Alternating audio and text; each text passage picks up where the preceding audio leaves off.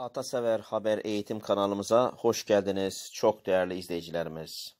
Sağlık Bakanı Koca yüksek risk altındaki 5 ilimizi uyardı. Hatay'da vaka artışı dikkat %125 oldu değerli izleyicilerimiz. Sağlık Bakanı Fahrettin Koca Adana, Hatay, Mersin, Samsun ve Kastamonu il sağlık müdürleriyle görüştü bu illerdeki koronavirüs vaka sayılarında artış olduğu belirtilen Koca, Hatay'da artış yüzde 125, yoğunluk doluluk oranı yüzde 86 dedi değerli izleyicilerimiz. Bu gelişmeyi sizlerle paylaşıyoruz. Çok değerli izleyicilerimiz. Bakan Koca Twitter hesabından yaptığı paylaşımda yeni tip koronavirüs salgını nedeniyle Adana, Hatay, Mersin, Samsun, Kastamonu valileri, il sağlık müdürleri ve halk sağlığı başkanlarıyla il toplantılarını tekrarladıklarını ifade etti.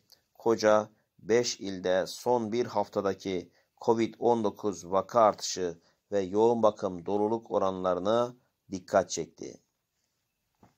Hatay'daki vaka artışı korkuttu.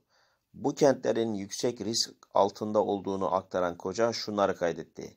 Son haftada Adana'da vaka artışı %50, yoğun bakım doluluk oranı %79, Hatay'da %125, yoğun bakım doluluk oranı %86, Mersin'de artış %50, yoğun bakım doluluk oranı %74, Samsun'da artış %35, yoğun bakım doluluk oranı %81.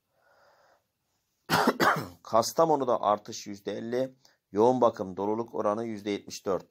Risk kapsamında alışkanlıklarımıza teslim olmayalım. Kısıtlamaları fırsata çevirelim. Tedbirlere daha sıkı uyarak sağlık çalışanlarımıza destek olalım. Mücadele birlikte kazanılır dedi değerli izleyicilerimiz. Biz de bu gelişmeleri Atasever Haber Eğitim kanalı izleyicileriyle paylaşıyoruz. Bir sonraki yayında görüşmek üzere. Hoşça kalın değerli izleyicilerimiz.